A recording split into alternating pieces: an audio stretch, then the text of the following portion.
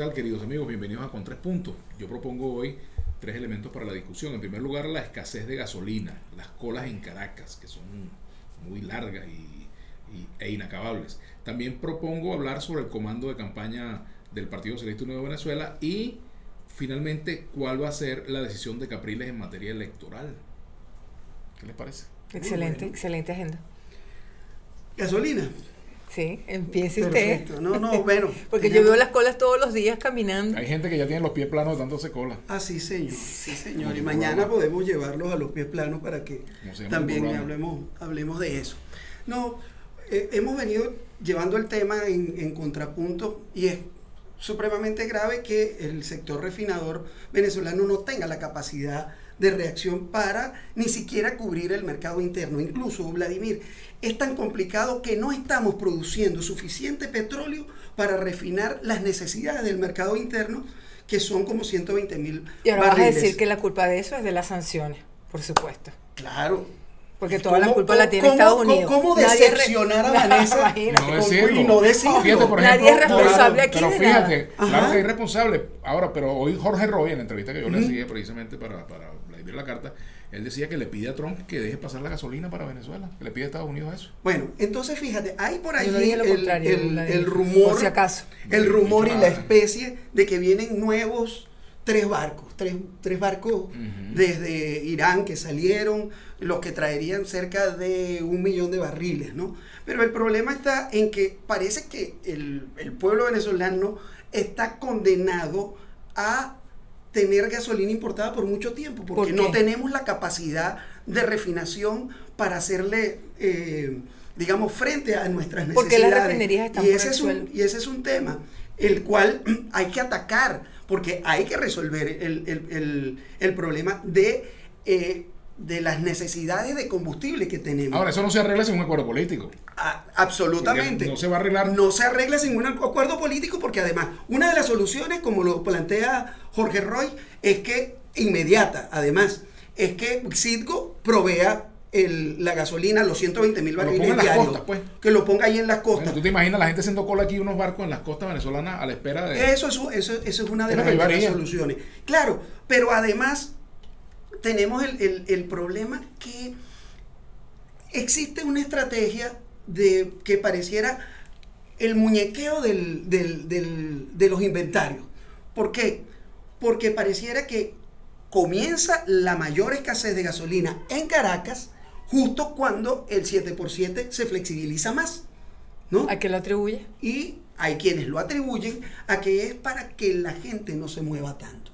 Y el otro, el otro tema que para lo vamos a desarrollar. Para cuidar su salud quitándole la gasolina. Esa es una, esa es una, una genialidad. Una genialidad. Bueno, yo no estoy, no la, no la estoy catando, es una hipótesis. es una hipótesis. Eh, Goyo, porque Pero, no es, digamos, no está comprobado que así sea, ni es sensato ni nada, sobre todo en tiempo preelectoral, o sea, el gobierno jugando con gasolina en medio de la pandemia. Mm, no bueno, no, pero es que la otra hipótesis es la electoral, ¿no? Es la electoral. Estoy guardando los inventarios para cuando hagan falta, para cuando hagan falta justamente hacia el mes de noviembre, cuando necesite a quién y para qué le haga falta al gobierno, evidentemente, Vanessa, para tratar de generar un mejor clima electoral. Y todo eso lo vamos a estar viendo también en los, con, los pies planos. Ahorita no hay ninguna decisión que se adopte que no tenga que ver con eso.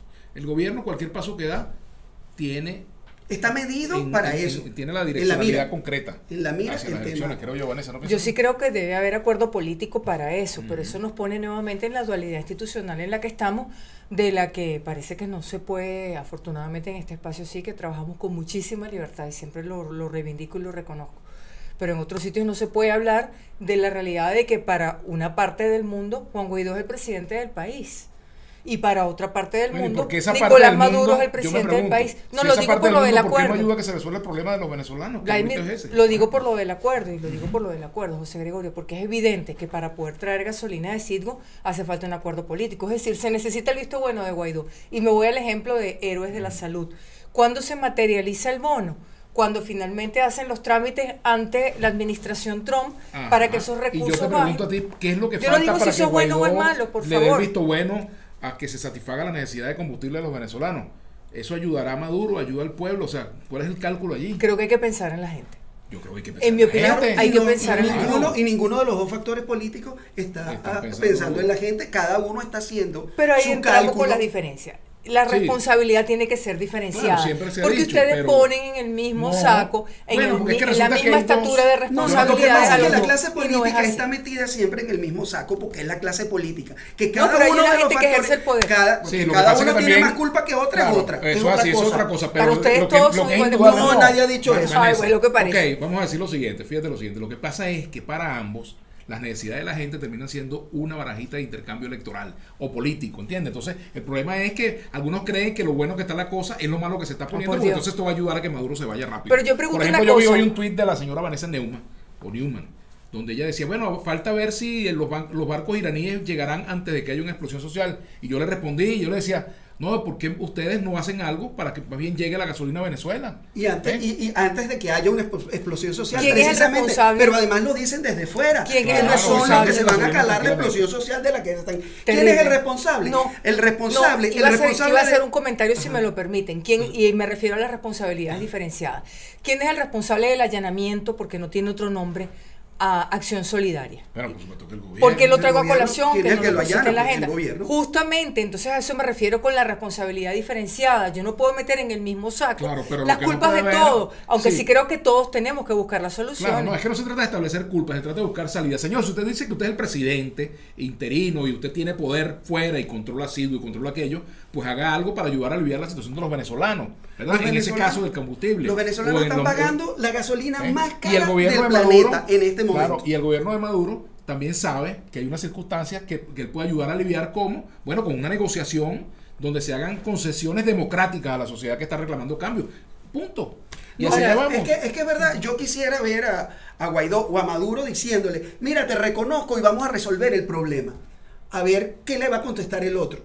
¿Me explico? Obligar al otro a decir que no. Es decir, Guaidó obligar a, Maduro a decirle no va a entrar la gasolina. pasado y Maduro obligar a Guaidó a decirle no, no, no, yo no voy a negociar contigo para pedir la plata en el Fondo Aquí han pasado unas cosas por debajo de la mesa. Responsabilidad. Aquí han pasado unas cosas por debajo de la mesa y yo las incorporo al análisis de la, de la agenda que propone Vladimir José Gregorio. Y es que además lo ha dicho Jorge Roy eh, yo aparezco como el mandamás, el bravo, para seguir convenciendo a mi base incondicional, a esa roca incondicional que tengo de que yo sigo siendo el rey. Pues no, aquí ya ha habido concesiones y es interesante escuchar a alguien como Jorge Roy que lo dice. ¿A qué me refiero? No va a haber una nueva constitución porque no hay nada que cambiar, al menos no en este momento. La Asamblea Constituyente se va es decir, quienes nunca creímos en la constituyente, bueno, eh, entiendo que forma parte del acuerdo político, Vladimir y José Gregorio.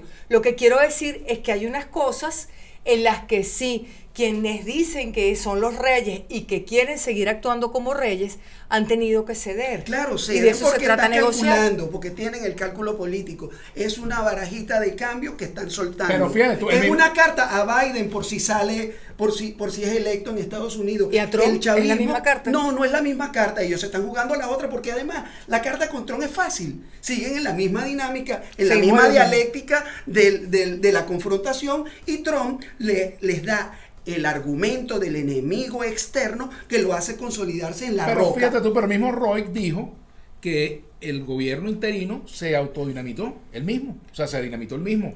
¿Por qué? Bueno, por, por esa política de inflexibilidad, de sectarismo, de, bueno, de, de dar todo el tiempo contra una pared sin, sin, sin jugar a la política. Y, y, eso es lo que está pasando. Entonces, ¿quiénes pagan la cuenta de eso? Lo, paga, lo, paga, la gente. Y claro, ¿y quién paga la cuenta de la forma soberbia como gobierna Maduro? La gente. Y entonces al final no es quien tiene más o quien tiene menos, no es quien te da más palo que el otro. El problema es que el pueblo está llevando palo por, de, ambos sectores extremistas por esas políticas. Claro, y hay un pueblo opositor que se siente defraudado. Y a, ese, y a ese también la oposición y su, y su clase política dirigente le tiene que dar una Mira, pasamos al otro punto. Vamos, justamente, si de defraudados hablamos, ni te cuento. Bueno, fíjate. Del, nuevo punto ayer, que de otro ayer, ayer, vimos el lanzamiento del comando de campaña del PSU, vimos la, las candidaturas ya anunciadas a nivel nacional. ¿Algo nuevo bajo el sol, Vanessa? No sé, yo pregunto lo mismo, yo no veo Mucho nada nombre repetido. Muchos nombres repetidos. Hay un, hay un nombre importante que creo que hay que tomarlo en cuenta, que es Suárez Churio. Sí, como, candidato. Como candidato además salidor, además encabezando la lista. Eso empieza, hace que uno tenga que empezar a leer cómo, cómo es esa distribución de fuerza en, la el, camino. La Cava logró que Amelias no va por Carabobo, encabeza por Lara. Sale Amelias de Carabobo, que fue gobernador de Carabobo. ¿Por qué tendría que ir el un ex gobernador de Carabobo por otro estado? Bueno, esas son. Eh, ese, ese, Pedro Carreño por la otra. Bueno. Pedro Carreño por, por del Tamacuro. Esa, digamos, esa es la otra, la otra discusión que hay que comenzar a ver y mirar con muchísimo con muchísimo tino, ¿no? Allí apuntar con, con cerbatana para ver qué nos está diciendo esa conformación de las planchas. Por ejemplo, Julio... Y ponen a personas en algunos puestos eh, que, que es difícil que salgan. También me lo pregunto, ¿por qué? Y lo digo porque es una persona a quien respeto, a quien considero mi amiga, independientemente de que tengamos posiciones diferentes. Me refiero a, Blanca Caut, en un puesto en el estado Miranda. ¿Crees que no es servidor? Yo creo que es difícil. Creo que es difícil. Por lo menos es retador. Sí, es retador. Ya sería la segunda vez que pierde, ya perdió la vez pasada. ¿Qué quiere? ¿Sacarla del juego? ¿Sacarla del debate? Porque Blanca Caut viene de esa izquierda de luchadora de toda la vida, con errores, con contradicciones. Pero, ella no ha dicho nada que, que desentone realmente. Yo Blanca no la he escuchado hasta ahora una sola palabra, ni un milímetro de cuestionamiento al gobierno que debe tener. No, yo no lo he escuchado tampoco. No, no lo he escuchado tampoco. Fíjate, yo creo que ella Pero en ese lugar, ¿no? en ese lugar, ¿no, te parece raro? No, no, no. Nombraste Lara que lo conozco y fíjate que Ameliach va por Lara encabezando y Julio Chávez que es el, el digamos como que el, el, gran articulador claro. este sigue por ejemplo, hablé con, con, con, la gente chavista de Lara y me dicen, bueno, lo pusieron por allá lejos. Sin embargo, está en el circuito, ¿no? Donde él ha sido el rey. De hecho, fue en las elecciones pasadas el único candidato del chavismo que duplicó a los votos de la oposición y por eso entró Germán Ferrer en la fórmula de Lara, que es lo que llaman el circuito de la montaña, que es la zona, que es la zona rural de, del estado Lara. Entonces, yo no sé qué hace Meliach en, en Lara. O sea, yo jamás lo, lo, vi allá, como tampoco entendí la gobernadora que, que, tampoco vivió nunca en Lara, Carmen Meléndez. Entonces nosotros vemos aquí, como dirían los, los margariteños, un poco de navegado, de navegados electorales. Lo que ocurre es que también hoy en día la elección, fíjate tú, se habla de listas nacionales, Hoy en día el concepto de representación de las regiones está muy minimizado porque los partidos colocan sus cuadros ah, porque están en negociaciones, están en cosas que se acuerdan. Que como las pero mises. Este me perdonan la comparación, pero como las mises. Claro, no importa. No, mi, Amazonas, nunca he ido a Amazonas, pero Exacto, es mi Amazonas. Sí, sí, sabe. Sí, sí, mi Stolín nunca ha sido. Amazonas digo yo en cualquier otro momento. No, no hablo de la actor, no. la conozco. Pero hay otro punto, Capriles.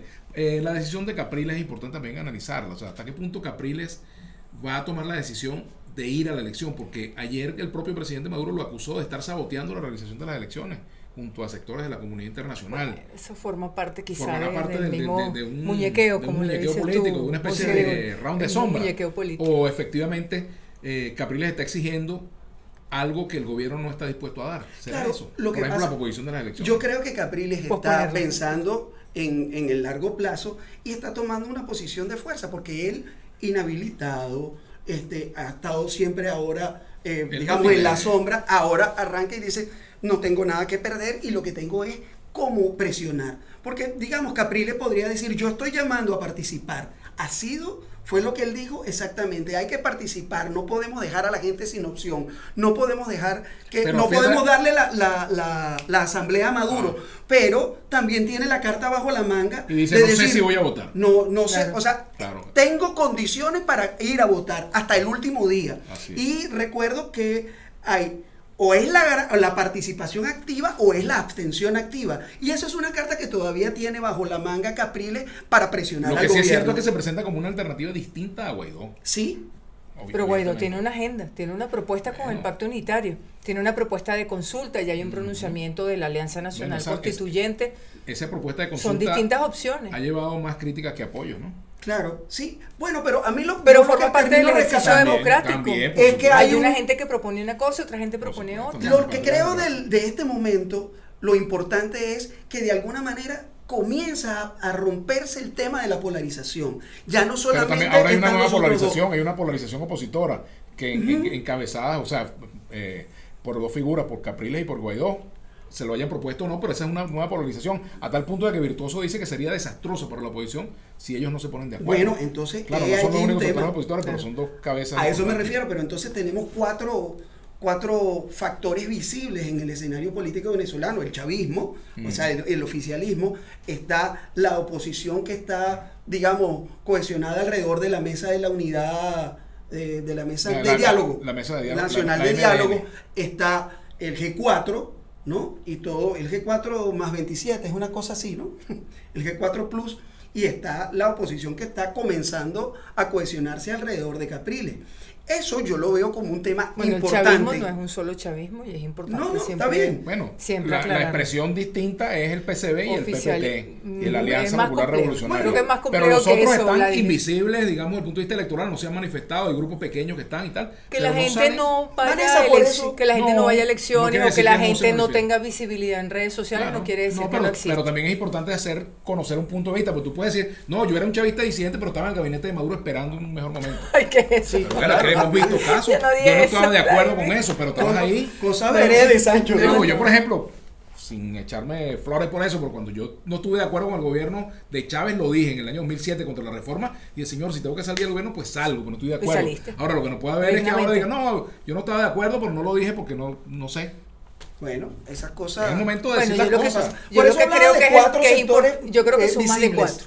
No, no, yo dije que, son, cuatro, visibles. Y creo que todos tienen derecho, y creo que todos tienen derecho a hacer política. Yo reivindico el derecho de Juan Guaidó de defender su propuesta y de llevarla y adelante. Se tiene derecho a acertar. Y reivindico el derecho de todos, los sectores políticos, de los sectores que lidera Capriles, de los otros sectores que surjan, a hacer política. Por eso sigo con mi prédica, igual que ustedes siguen con su prédica de la negociación, la negociación, la negociación, y en tu caso, por supuesto, que las sanciones son las grandes culpables de todo, que no lo creo, no lo creo y lo cuestiono. Sí, sí, sí, Mi prédica es... Eso me recuerda una canción que dice, así se compone un son. Ay, bueno, Justamente lo que está pasando aquí en este espacio, mi prédica es por más democracia, más democracia. No la podemos dejar perder, no podemos dejar que se nos vaya por el desaguadero. Más democracia es más democracia para todos, pensemos como pensemos. Por eso tenemos acá tres puntos y el resto lo coloca usted. Nos vemos el lunes. Así será.